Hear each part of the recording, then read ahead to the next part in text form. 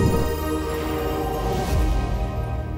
अगर किसी को कैंसर डिटेक्ट होता है तो सबसे पहले क्वेश्चन आता है, मैं जीऊँगा या नहीं जीऊँगा? इसका आंसर है कि कैंसर क्यूरेबल है या नहीं है। सभी कैंसर अपने शरीर में क्यूरेबल है। अगर इसको हम जल्दी डिटेक्ट करते हैं तो इसको हम कैंसर को सब डिवाइड नहीं कर सकते कि ये कैंसर में क्योर नहीं है, ये कैंसर में क्योर है। अगर हम किसी कैंसर को स्टेज वन में डिटेक्ट करते हैं तो उसका क्योर चांस हाइएस्ट रहेगा और स्टेज फोर में डिटेक्ट करते हैं तो उसका क्योर चांस ज़ीरो रहेगा। मेरा आप सबसे रिक्वेस्ट है कि आप स्क्रीनिंग के लिए जाइए और अगर आपको कोई वार्निंग साइन ऑफ़ कैंसर है तो जल्दी से जल्दी डॉक्टर को मिलिए। Don't neglect any of the warning sign क्योंकि early detection leads to almost hundred percent cure all cancer शरीर में कोई भी कैंसर अगर हम जल्दी डिटेक्ट करते हैं तो वो क्योर हो सकता है। धन्यवाद।